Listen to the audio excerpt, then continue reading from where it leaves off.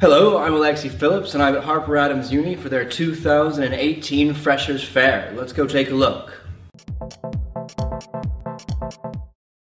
Hi guys, it's Georgie, the SU President at Harper. Today we had the Freshers Fair, which was really successful. We had loads of different the clubs and societies out, as well as external companies who came and gave away loads of free stuff, so I hope you all won something nice.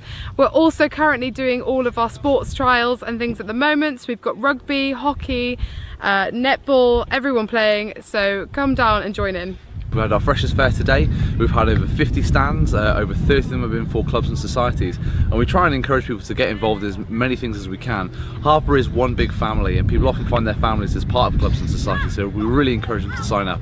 It's been an amazing day today. We've had over 650 freshers through the doors. We've been doing goodie bags, giveaways, prizes. It's been amazing. Well, so essentially, how was uh, the Freshers Fair today? How did it go? It was really good. We got a lot of uh, people signing up, um, more than we expected, I suppose. So, how much of a commitment is it for people that sign up for the football club? Is it like weekly practices? Yeah, we train every Monday, half seven till nine o'clock on a night, and then on a Wednesday we play matches away all over the, this area of the country. Uh, it's not too much of a challenge. There's a signing up fee, but it's just just a social really. It's like a casual. If you want to play, you play. If you don't want to play, you don't play.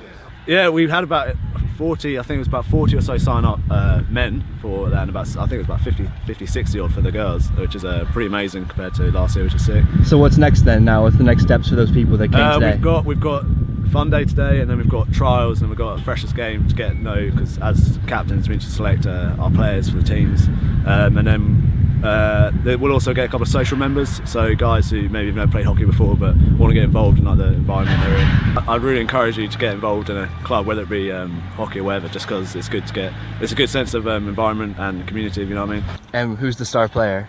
Oh, me. Yeah. Whoa. no, well, got new girls in today, so we'll have to see where it goes. Cool. And um, how long? How many years have you guys been on the women's football team? Um, this is my second year, second year at uni, second year in this team. Um, I've been playing football since I was much younger. Mm. Yeah. Is this how you two met? Yeah. Yeah. Yeah. Yeah. yeah. We're friends ever since, haven't we, Lucy? Yeah, yeah, sure. That's great. so tell me a little bit about like why you joined the gaming society. Why was it so attractive to you?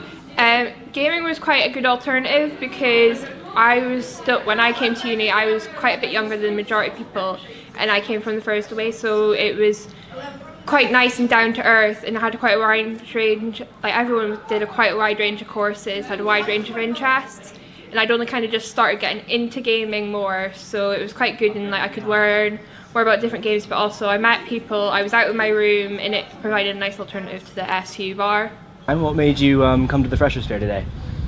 Uh, good way to get free pens um, and obviously it's good to like join clubs and sort of make friends and see if you know just activities they can get involved with well there you have it 2018 Freshers Fair has come and gone here at Harper Adams University.